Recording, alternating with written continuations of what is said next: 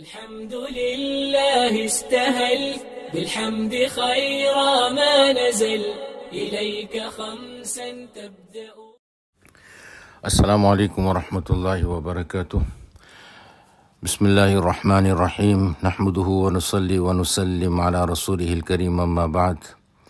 Honorable and, and beloved listeners, today we discuss the 12th juz of the Quran Sharif. وما من دابة في الأرض إلا على الله رزقها This juz consists of Surah Hud besides a few lines and then a portion of the famous surah, Surah Yusuf. With regards to Surah Hud, Allah wa ta'ala speaks about different Anbiya alayhimus salatu wassalam that had come to their people, Sayyidina Nuh alayhi salatu was salam, Sayyidina Hud alayhi salatu was salam, Sayyidina Salih alayhi salatu was salam.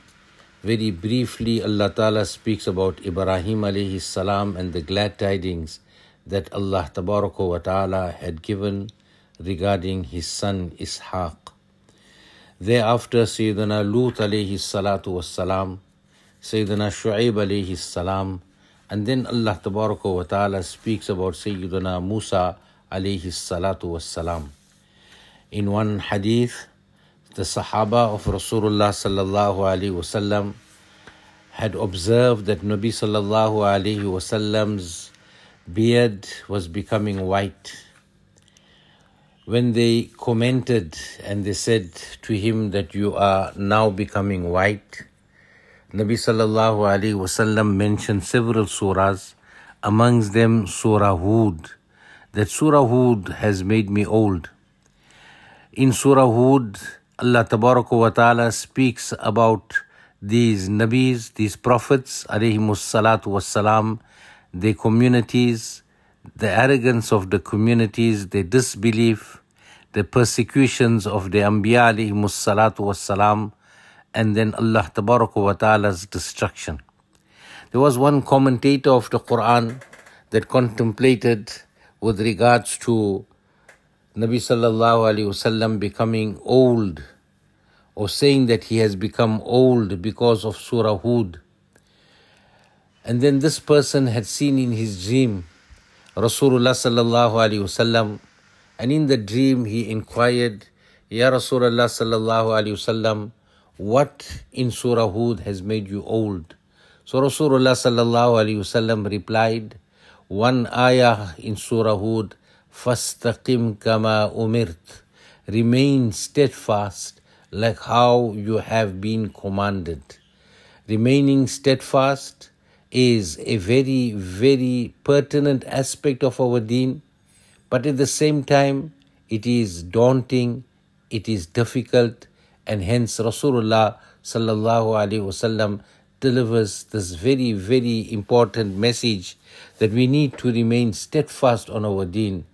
إن الذين قالوا ربنا الله ثم استقاموا When Allah Ta'ala speaks about the beautiful ni'mats from the time a person leaves this world, that the malaika will come down to that person, the important condition is to say Rabbuna Allah, our Rabb is Allah, and then to remain steadfast on Rabbuna Allah, our Rabb is Allah wa Ta'ala. Surah Hud begins with the, with the discussion of the Quran and speaks about the firmness and the greatness of the Quran Sharif. But then the 12th juz begins with a very, very great reminder وما من دابة في الأرض إلا على الله رزقها ويعلم مستقرها ومستودعها In this, Allah wa ta'ala speaks about a responsibility that Allah wa ta'ala has taken upon Himself. Remember, no one can impose anything on Allah Rabbul Izzat, but Allah wa ta'ala has taken it upon Himself that Allah subhanahu wa ta'ala grants sustenance, and Allah says that there is no moving creature fil ard on this earth But upon Allah Rabbul Izzat is the responsibility of the rizq, of the sustenance of that individual. Allah wa ta'ala is the Rabb and Allah wa ta'ala is also the Raziq. And in this way, Allah subhanahu wa ta'ala takes the great responsibility of our sustenance and it is important for us to bring this into our lives. Once Allah Ta'ala commanded Sayyidina Musa alayhi salatu wasalam to strike a rock with his asa, with his staff. When it cracked open, he found another rock within it. He struck the second rock, causing it to crack open. Yet again he found a third rock within it. When he struck the third rock, he found a little creature with its sustenance in his mouth, which, according to some narrations, a blade of grass. Allah Ta'ala then afforded Musa alayhi salam the opportunity to listen to the creature praising Allah Ta'ala, Subhana may yarani, wa yasma'u kalami, ويعرف مكاني ويذكرني ولا ينساني Glory be to that being who sees me, who hears my speech, he knows my whereabouts, and he remembers me and does not forget me. And a very clear message وَيَعْلَمُ مُسْتَقَرَّهَا وَمُسْتَوْدَعَهَا Allah knows our needs and Allah wa ta'ala also knows where to deliver our needs. And in this manner, Allah wa ta'ala begins this juz and speaks about the different Anbiya alayhi salatu wasalam, whose names we have just mentioned. And then towards the end of the surah, why all of this? Why does Allah subhanahu wa ta'ala mention these Anbiya alayhi salam we had discussed before in Surah Al-Araf? Allah Ta'ala says, وكلا نقص عليك من أنباء الرسل ما نثبت به فؤادك for the consolement of Nabi Karim sallallahu alayhi wasallam to firmly establish the heart in Nabi alayhi salatu wasalam to further Rasulullah sallallahu alayhi wasallam's endurance to heighten the determination of our Nabi Karim sallallahu alayhi wasallam Thereafter, Allah wa ta'ala speaks about Sayyidina Yusuf alayhi salatu wassalam in Surah Yusuf, and Allah Himself describes it. نحن نقص عليك أحسن القصص O Muhammadur Rasulullah sallallahu alayhi wasallam we relate to you the best of incidents the best of stories and that is the story of Sayyidina Yusuf وعلى نبينا وعليه الصلاة والسلام. Now when we look at Sayyidina Yusuf alayhi salatu wasalam's incident and the way Allah tabaraka wa ta'ala has revealed it to Nabi Kareem sallallahu alayhi wasallam, we see that there is a change in the methodology of the Quran Sharif. Other Anbiya alayhi salatu wasalam, we find the incidents that have been narrated in different parts of the Quran Sharif new words regarding them, regarding the people, different ways Allah wa ta'ala speaks about them, different aspects of their lives. But when it comes to Sayyidina Yusuf alayhi salatu wasalam, first of all, the incident is not re- repeated anywhere else in the Quran Sharif, but from beginning to end here in Surah Yusuf. Now, the incident of Sayyidina Yusuf alayhi salatu wasalam is well known we will just try to draw some lessons from what we know with regarding to the surah so that it will help us in our own life. When we look at the life of Sayyidina Yusuf alayhi salatu wasalam and uh, we draw a comparison to the life of our Nabi Karim sallallahu alayhi wasallam, we'll find many common grounds. And one common ground was like the brothers of Yusuf alayhi salatu wasalam were jealous regarding Yusuf alayhi salatu wasalam. They plotted to kill him. We will find the same regarding our Nabi Kareem sallallahu alayhi wasallam that the Quraysh had also plotted to assassinate our Rasulullah sallallahu alayhi wasallam. That is the reason or the apparent reason why Nabi Kareem sallallahu alaihi wasallam had undergone and undertaken the hijrah and we will find that Rasulullah sallallahu wasallam remained in the cave of Thawr for a period of three days. So here we find there are great similarities between his life and the life of Sayyidina Yusuf alayhi salatu wasalam.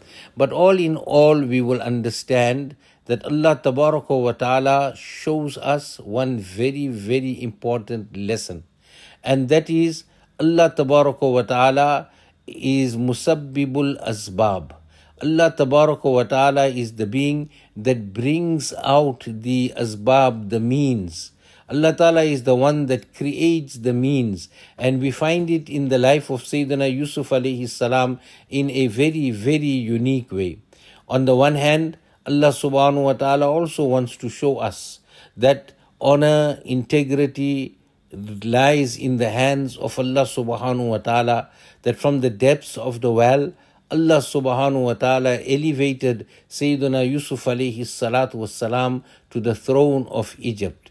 Then we also find that Yusuf alayhi salatu wasalam has left an example for mankind, and that is the example of chastity. Invited by the wife of the Aziz of Egypt, the wife of the governor of Egypt, famously her name is known as Zuleikha. Yet Yusuf alayhi salatu wasalam did not succumb to her desires. He did not give in to her desires. She made an allegation against Yusuf alayhi salatu wasalam that he was the person that initiated all of that. Allah wa ta'ala shows a little child then bears testimony in favor of Sayyidina Yusuf alayhi salatu wasalam. Of course, Zuleikha she acknowledges and she admits her guilt to the other woman of Egypt that had cut the hands. وَلَقَدْ رَاوَدْتُهُ عَنْ نَفْسِهِ فَاسْتَعْصَمْ And also in front of the king of Egypt, she had also said, قَالَتِ امْرَأَةُ الْعَزِيزِ الْآنِ حَصْحَصَ الْحَقِّ she had said that the truth has come to light. Anarawattuhu, I was the one that sought to seduce him.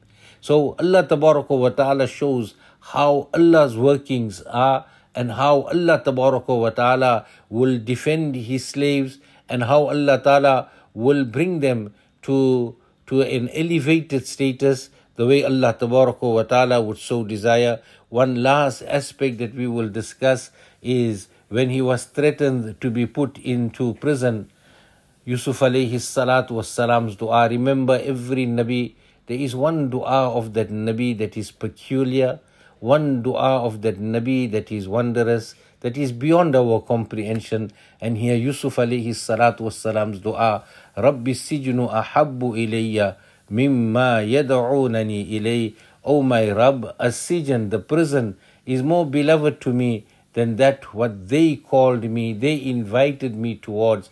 I'll give up my freedom, Ya Allah but I will never ever break your command. May Allah subhanahu wa ta'ala give us the tawfiq and may Allah wa ta'ala bless us with the practice of this Quran, bless us with the love of the Quran. Wa sallallahu ala nabi al-kareem wa alihi wa ashabihi ajma'in walhamdulillahi rabbil alameen. بالحمد حين تقرأ بالحمد حين تقرأ.